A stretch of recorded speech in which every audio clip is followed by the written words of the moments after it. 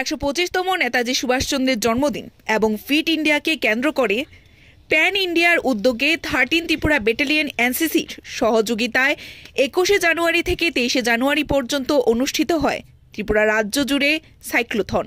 চলুন দেখে নেই তার কিছু দৃশ্য। Bureau report, social Bangla.